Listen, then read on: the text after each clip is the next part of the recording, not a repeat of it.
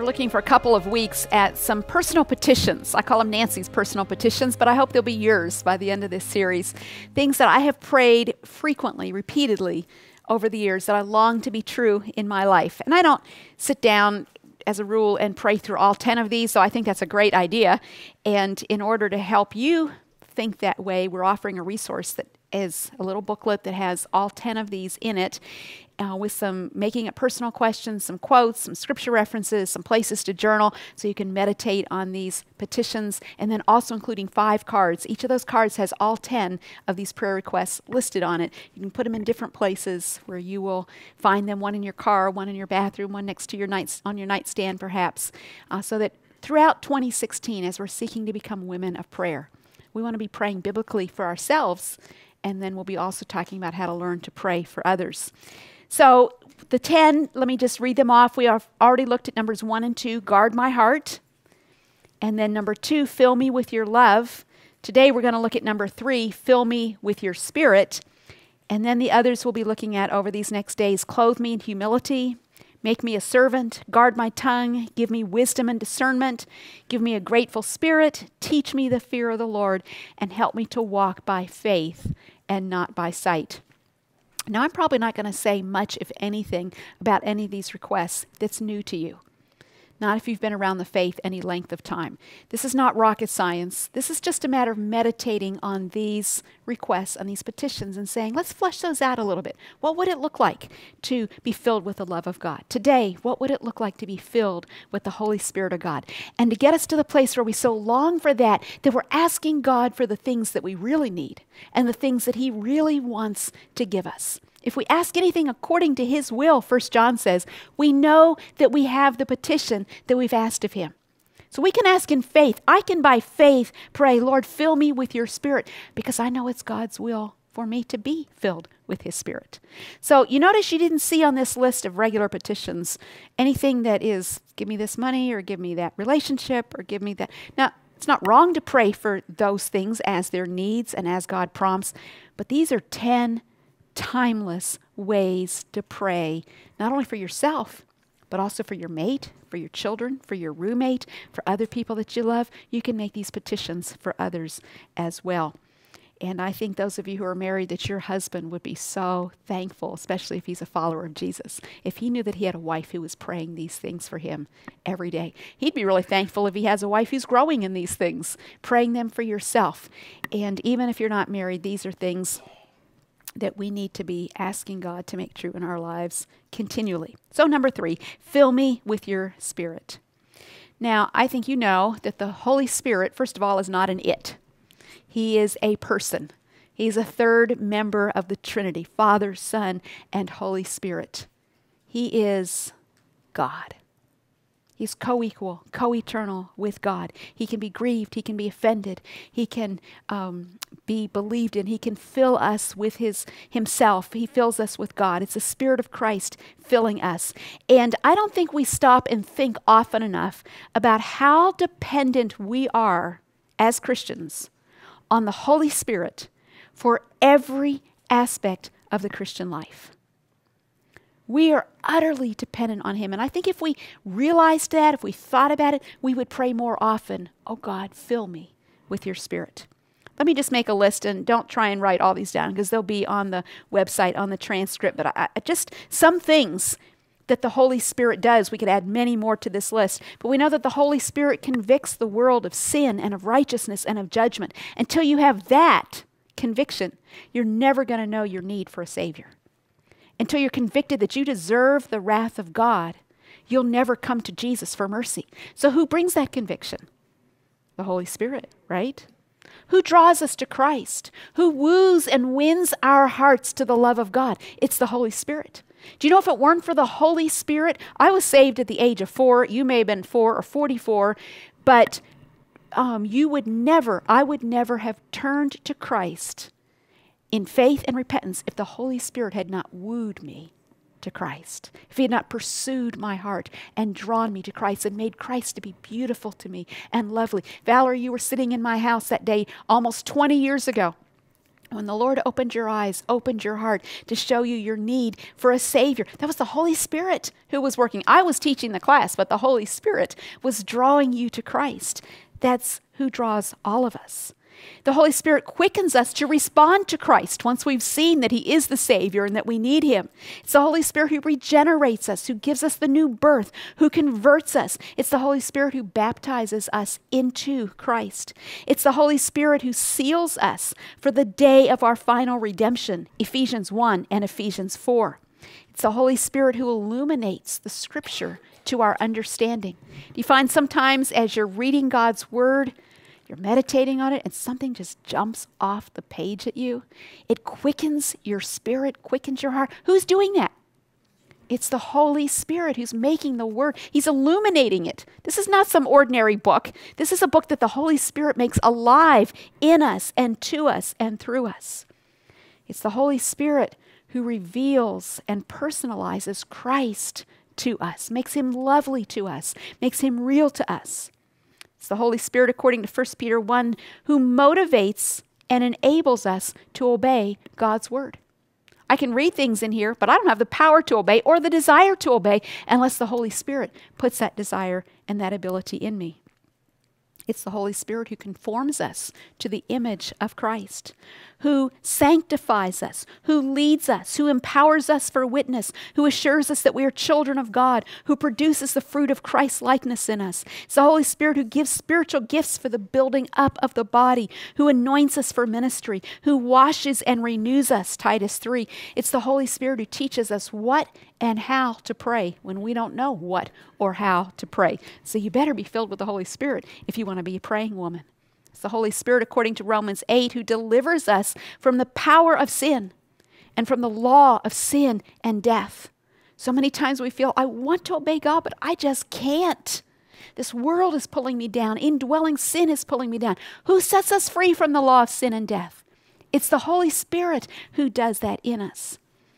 It's the Holy Spirit who gives us access to the Father, Ephesians 2. Romans 5, it's the Holy Spirit who pours God's love into our hearts. Acts 9, it's the Holy Spirit who comforts us. And, and in Isaiah 44 and 32, it's the Holy Spirit who restores and renews and revives. He quickens, He brings life. The Holy Spirit in us is the source of fullness and of life. It's the Spirit of Christ. I love that passage in John chapter 7, beginning in verse 37. On the last day of the feast, that great day, Jesus stood up and cried out, If anyone thirsts, let him come to me and drink. Whoever believes in me, as the scripture has said, out of his heart will flow rivers of living water. Now, this he said about the Spirit, whom those who believed in him were to receive. For as yet the Spirit had not been given, because Jesus was not yet glorified. Now, we could do a whole series on those three verses. I won't. Let me just take a minute here. What did it mean for Jesus to be glorified? Well, he was glorified when he went to the cross. He was glorified when he rose from the dead. He was glorified when he ascended to the right hand of the Father. And when he did, the Holy Spirit was given by the Father to those who believe in Christ, to live in us. Christ in us. That's the Holy Spirit. And as a result of Jesus sending his Holy Spirit to live in us, Jesus said, If you believe in me, you will be filled with that Holy Spirit. And as a result, rivers of living water will flow out from your heart, flow out of your innermost being. You want to be a fruitful woman? You want to be a woman who exhibits the fruit of the Spirit in your life? You want to be a woman who's a spring of life and joy to others? Then you need to get filled with the Holy Spirit because that's where we receive fullness. Out of his innermost being, his heart, will flow rivers of living water. I don't know about you, but that's the kind of Christian I want to be. That's the kind of woman I want to be.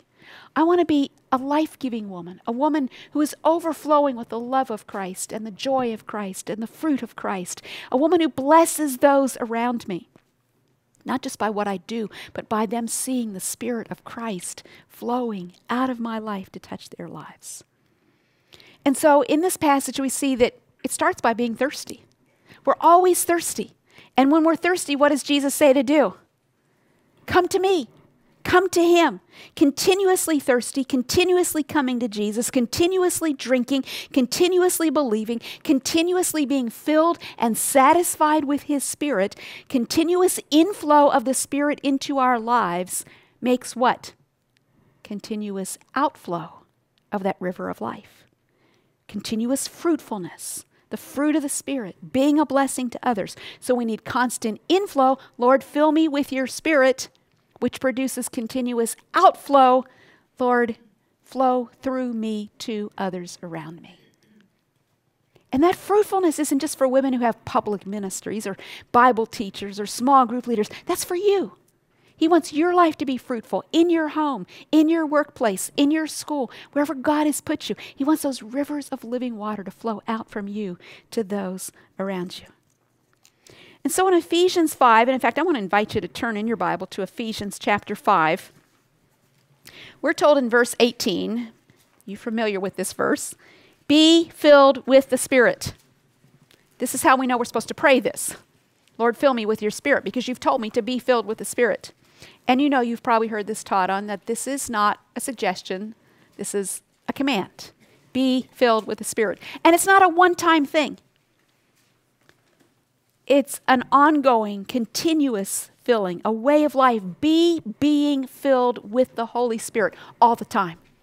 Keep being thirsty, keep coming to Jesus, keep drinking, keep believing, keep being filled with the Spirit, continual intake, input, and continual outflow. So now the question is how can we know if we're filled with the Holy Spirit? I'm glad you asked because this passage goes on to tell us. Ephesians 5, verse 18, through most of chapter 6. And I want to just walk quickly through touching on highlights of the rest of this chapter and the next to show you some characteristics and evidences to know if you're filled with the Holy Spirit. Verse 18 Do not get drunk with wine, for that is debauchery, but be filled with the Spirit. So, if you're filled with the Spirit, you're not going to be controlled by any substance which could include an activity, a relationship, anything that leads to excess, to dissipation, to wickedness. Instead, you're going to be controlled by Christ, by His Spirit. And then, verse 19, verses 19 and 20 talk about worship as an evidence, an expression of being filled with the Holy Spirit. Be filled with the Spirit, verse 19, addressing one another. This is our public worship in psalms and hymns and spiritual songs, singing and making melody to the Lord with your heart. That's our private worship.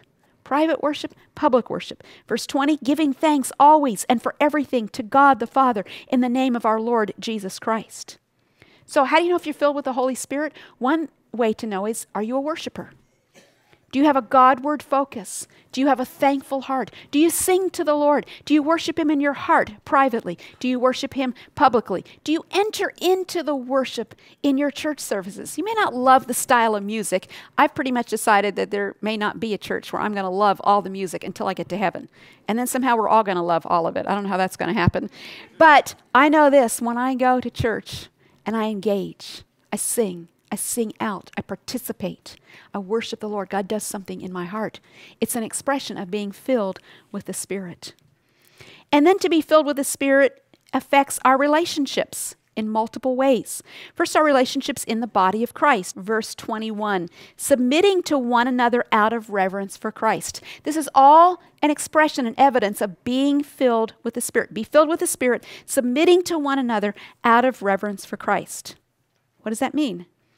Well, I think it means that in our relationships, in the church, in the body, with one another, we're not going to be dominating, intimidating, resistant, contentious.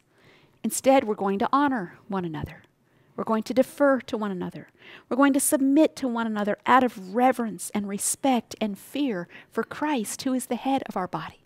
And we are one with Him. So if you are one with your head, then you're one with every other member of the body. So we're not going to have divisions and schisms and contention. And if we do, we're going to deal with them in repentance, right? There's some women here today from two different churches that have come together through a whole series of circumstances and have become one local body here. And it sounds like God is doing a sweet work because of those two churches both having needs, having come together. I don't know all the details on that, but I think there's probably some submitting to one another that has to go on for that to happen.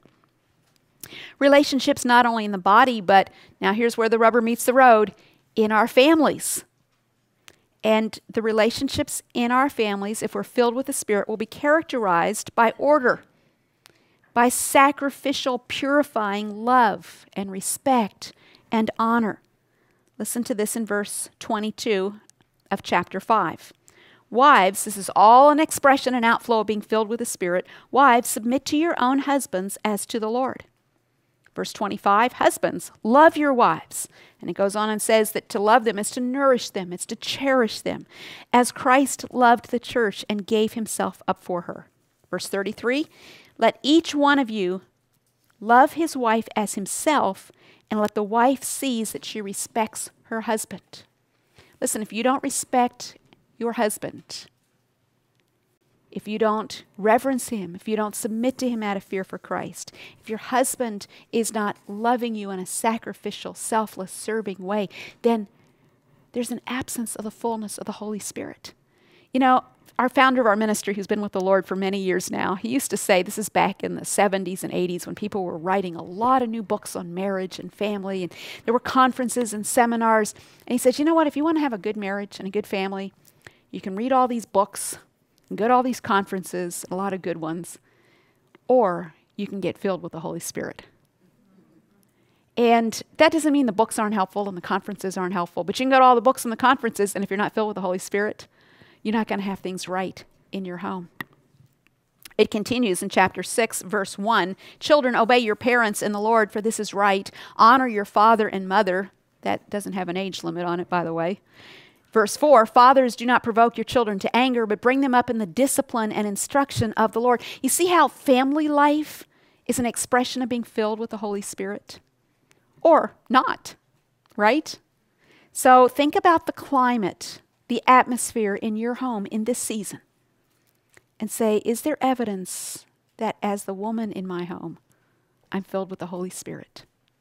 Now, you may not be married, you may be single, you may have a roommate, so maybe your home is more your workplace environment. But just ask where you spend a lot of your time, in the relationships that you're closest to, is there evidence that you are filled with the Holy Spirit? Now, that doesn't mean that everyone else in your home or your workplace or your world is going to be filled with the Holy Spirit. There may be cantankerous people, there may be ornery people, there may be people who are really difficult to live with. But if you're filled with the Spirit, there will be a fragrance of Christ there that will make a difference. It'll make a difference in you, it'll make a difference in those around you. Here's another evidence of how being filled with the Spirit affects relationships, and that's in the workplace. Continuing in Ephesians 6, verse 5. And I won't read all of this, but verses 5 through 9, it talks about servants and masters, talks about treating each other with respect, about serving as if you were serving the Lord. If you're the one in charge, you're the boss, don't threaten those who work for you because you've got a master in heaven that you work for. So again, if you're filled with the Spirit, then these work relationships are going to be right. Look at verses 10 through 18 in Ephesians 6. Not only in our relationships, and in our work, but in our warfare. And again, I won't read the whole passage, but this is an evidence of being filled with the Holy Spirit. Finally, verse 10 Be strong in the Lord and in the strength of his might. Put on the whole armor of God that you may be able to stand against the schemes of the devil. We're, we live in a, on a battleground. This is not a playground, this is a battleground, the Christian life. And being in this world as servants of Christ puts us up against the forces of evil. You don't have the strength to deal with those. You don't have the smarts to deal with those. Uh, Barb is a counselor. She's talked about some of the uh, counsel that she gives. People are today are so confused. They're so disordered. They're so dysfunctional. They have so much baggage, so much hurt, so much pain.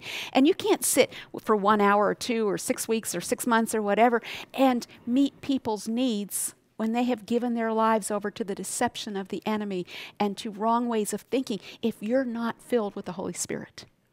But if you're filled with the Spirit, you will see God doing things in and through and around you that you just stand back and you say, I'm not smart enough to have done that. I'm not good enough. But God did it. God turned their heart. God changed their mind. God changed their thinking. God brought them to repentance. They're people you're burdened for. And you can see a battle going on in their lives. Maybe your children, maybe somebody in your family, maybe somebody in your workplace. Are you filled with the Spirit so that you can go into that battle and be helpful and be wise and be effective? And then verses 19 and 20 of Ephesians 6 our witness in the world is affected by our being filled with the Holy Spirit. Verse 18, keep alert with all perseverance, making supplication for all the saints, and also for me, that words may be given to me in opening my mouth boldly to proclaim the mystery of the gospel, for which I am an ambassador in chains, that I may declare it boldly as I ought to speak. Now, that's not just for the Apostle Paul. We're all supposed to be declaring boldly as God wants us to speak in our world, our witness for Christ. How in the world can you do that if you're not filled with the Holy Spirit? We live in a world that is decidedly anti Christ. And they're pushing Christians back into the corner, saying, You stay there, don't open your mouth, don't breathe, don't think, don't act, don't be a Christian. And so, what do we do? We, so many of us just slink back into the corner and say, you know, get in our little holy huddle and hold on, hold hands with, you know, my fellow Christians until and hope for the rapture, right? And God says, no, you're supposed to be the church out in the world. Go out there, love them, serve them, proclaim Christ, do it wisely, do it winsomely, do it in the fullness of the Holy Spirit. Listen, when a small band of believers did that in the book of Acts, in this great pagan, wicked, evil Roman Empire, the whole Roman Empire was changed because the servants of Christ went out in the fullness of the Holy Spirit and proclaimed Christ with boldness and with love and with winsomeness and with fearlessness. They went out there and Jesus filled them with his spirit and amazing things happened. Why aren't amazing things happening today around so many of our churches and our lives? Could it be that we're not filled with the Holy Spirit? Say, Lord, fill me with your Spirit. Well, if you want to know more about what it looks like to be filled with the Holy Spirit, look in Galatians chapter 5. That's where you see the fruit of the Spirit. Walk by the Spirit. You won't gratify the desires of the flesh. Listen, here's another evidence of being filled with the Spirit, and that's that you'll have supernatural power. That's what we were just talking about. We cannot do what God has called us to do. We cannot be who God has called us to be in this world apart from being filled with His Spirit. There's a quote by Corrie ten Boom that's written on a sign in the Corrie ten Boom Museum in Holland. It says, Trying to do the Lord's work in your own strength is the most confusing, exhausting, and tedious of all work. But when you're filled with the Holy Spirit, then the ministry of Jesus just flows out of you. That's what we want. When Mary said to the angel, How can this be? You've chosen me for this task. She's a young teenage girl. She's never been intimate with a man, and, and the angel says you're going to have a baby, and the baby's going to be the Son of God. I mean, you talk about just blowing all your circuits. How can this be? It's impossible. It truly was impossible. Do you ever feel like what God has called you to do is truly impossible? It is. I feel that all the time in the work God's called me to. God's asking me to do some things in this season of my life, and I'm going, this is impossible. I can't do this. How can this be? Well, I love the angel's answer in Luke 135. The Holy Spirit will come upon you, and the power of the Most High will overshadow you. Ask God to fill you with His Spirit. The Holy Spirit, Jesus said, is a good gift. And if you are a child of God, then the Holy Spirit lives in you. You're indwelt by the Holy Spirit. You don't need that to happen again but He wants to fill you, every part and parcel and particle of you, with Himself, with His Spirit. Your words, your speech, your actions, your attitudes, your thoughts, your perspectives, your worldview, your day, your night, your everything. He wants to fill us.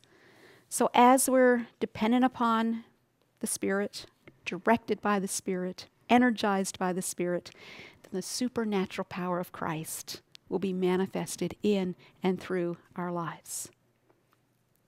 So, as you think about what God's called you to do in this season, are you depending on your own abilities, your own resources, your own natural abilities, or on the power of the Spirit, the Holy Spirit of God, to live the Christian life and to serve Him? Let's bow our hearts and pray. And each of these days, I'm praying a prayer and inviting you to make it your prayer as we lift these petitions up to the Lord. So, thank you, Father, for sending your Holy Spirit to live in me and to comfort, lead, and purify me.